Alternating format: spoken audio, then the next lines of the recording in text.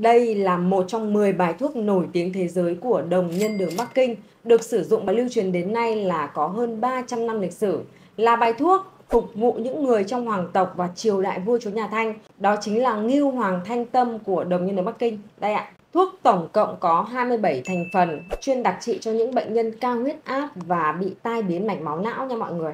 Đây, em mở ra cho mọi người xem.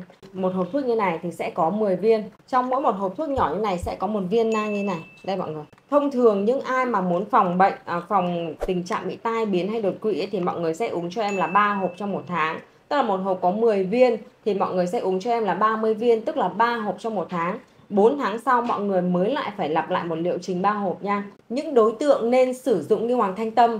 Thứ nhất là người bị cao huyết áp, người bị sau biến chứng tai biến mạch máu não. Thứ hai là người tim đập nhanh bị rối loạn dây thần kinh thực vật. Thứ ba, người bị rối loạn tiền đình suy giảm trí nhớ. Thứ tư là người cao tuổi hoặc là người làm việc trí óc vô cùng căng thẳng. Thứ năm là người thường xuyên bị nhức đầu, căng thẳng, mất ngủ. Thứ sáu là người bị mỡ máu. Thứ bảy, người có nguy cơ tai biến và đã từng có tiền sử bị tai biến hoặc là người đang trong thời gian điều trị bị đột quỵ thì đều có thể sử dụng như Hoàng Thanh Tâm nha mọi người. Như Hoàng Thanh Tâm thì một hộp như này thì sẽ có giá là 750 000 nha mọi người. Một viên nang như này thì mọi người sẽ bóp nó ra. Đây, em mở cho mọi người xem.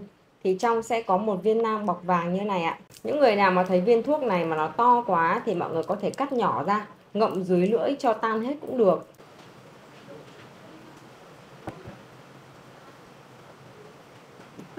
Thời gian uống tốt nhất là sau ăn trưa từ khoảng 12 giờ đến 13 giờ trưa mọi người nhé.